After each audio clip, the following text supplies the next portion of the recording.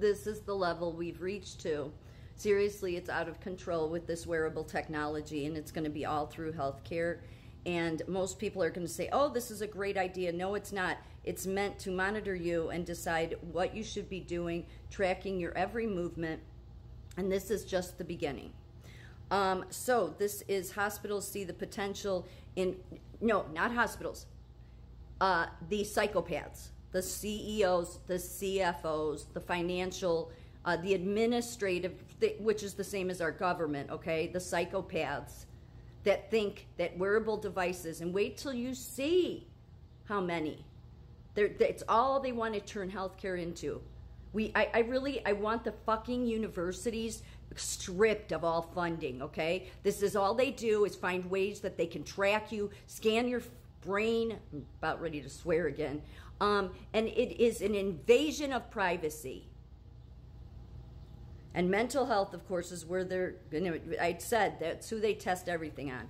So this is Philadelphia uh, area, Philadelphia area hospitals are rolling um, carts outfitted with video screens and virtual cameras in patient rooms with the hope that remote nurses, remote nurses can reduce patients' risk of falling, pulling out tubes or hurting themselves another way. How exactly, like this is the experts, this is what I mean. You are higher educated. You went to these Ivy League universities, and you think this, some nurse, which I wouldn't even consider this a nurse, okay? Just saying, um, is watching patients on a monitor. What is she going to do if if somebody is at a, fa a fall risk or uh, behavioral health wise although they they decided not to use this in behavioral health because there's too many wires to put all the computers in the rooms but they get around this anyway. This, all this is about is the, the damn financial industry, your World Economic Forum, your fucking CEFOs and CEOs that want to tell you this is about safety when really it's about their back pocket. Bastards. Uh, one remote nurse can do the work of up to a dozen in-person staffers. Does that, to any nurse, does that make any bit of sense? No, no, it doesn't. It doesn't. It is cruel. It is absolutely cruel. It's cruel to patients that are sick and suffering and that would like human um, contact. God, like seriously, can we get the, the psychopaths out of healthcare, please? But then that would require getting the government out of it. So, yeah, get rid of all these. Oh, just hate this stuff. It's so intrusive. These people have no boundaries. Talk about people that need a mental health evaluation. You higher educated people have no fucking boundaries.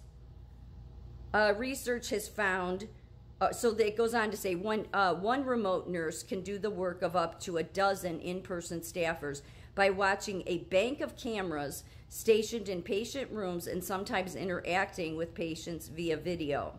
Research has found these so-called virtual sitters can help reduce patient falls because the nurses on the other end of the camera are not moving from room to room. How is that helping anything? But they're solely dedicated to watching the patient's every move. That's what it says. They're solely dedicated to watching the patient's every move. So, how are they going to intervene for safety if the patient's about to fall?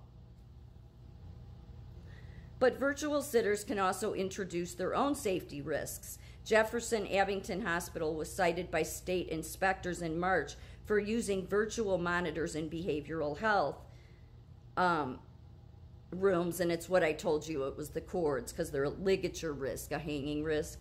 Jefferson hospitals follow national guidelines that deem virtual sitters eh, um, that deem virtual sitters acceptable in behavioral health units.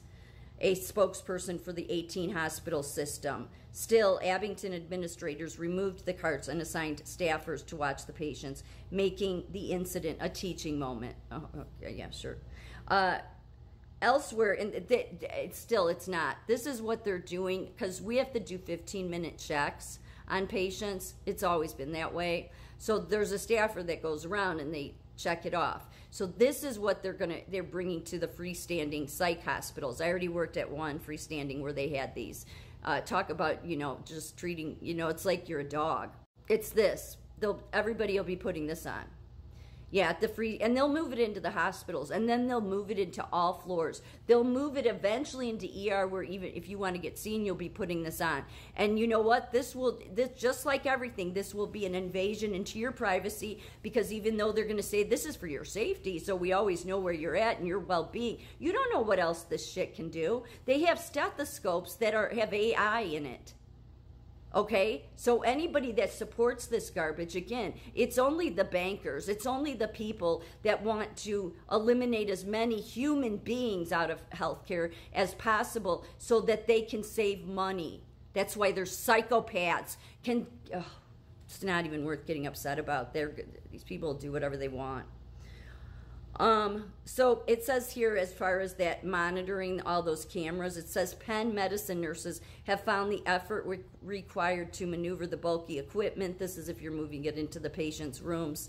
Um, um, it offset the time that virtual nurses would save on the floor. What you'll notice is they're going to use nurses, like saying that they support this kind of stuff and in very rare cases maybe. But no they're just saying this because when you read further into it you find that it's really the the the psychopaths again the chief financial officers the ceos of the hospitals that they can streamline things so that they know every moment what you're doing to make sure that they're getting the all the money they uh, every dime they pay you is worth it worth it to them so that they know exactly what you're doing because it goes on to say here everyone is trying to figure out how to use the technology to improve patient care and safety. No, they're not. No, they're not. The only people that are interested in using this is, again, the psychopaths that are running the healthcare system. And, and the, all the professional associations who support all this. Although a Journal of Medicine came out and said they, they won't take a position on this. Uh, at least that's good to say, see. But it would be nice if all those higher educated nurses and doctors, the one that's that decide all this, could come out and say, you know, a lot of this is an invasion of privacy, and you're just trying to um, just call out these psychopaths in the administrative departments, because that's all this is about. I mean, it goes further than that, I think, um, into wanting to know even more about you. So then uh, it says here, Penn initially hoped mobile virtual sitters would reduce the need to assign staff to one-to-one -one observation duties.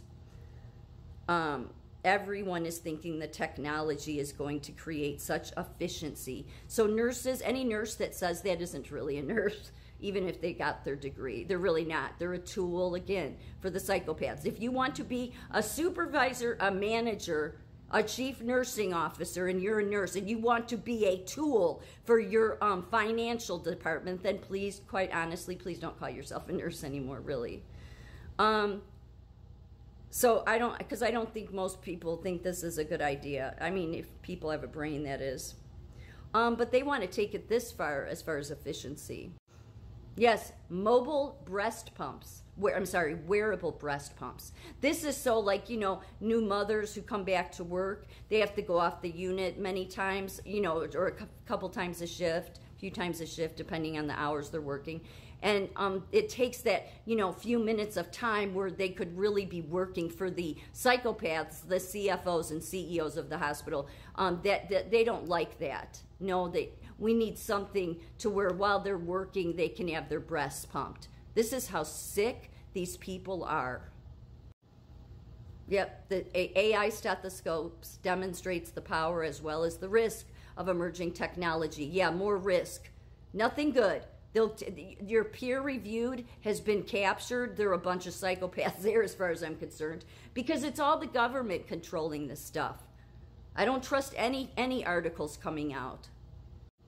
Wearable brain scan tra tracks development milestones in young children. These people are obsessed with children. They really are. The science is obsessed with children, uh, I, I think in a sick, twisted way, quite frankly. And even this, Feel, the name of the place, unveils a cutting edge wearable device paired with AI for emotional and mental health. Well, quite frankly, since these people came up with that, I do not think they are the best people to know how to address mental or well being at all when it comes to health. These people need to be stopped. I mean, legally in some way. This is an invasion of rights.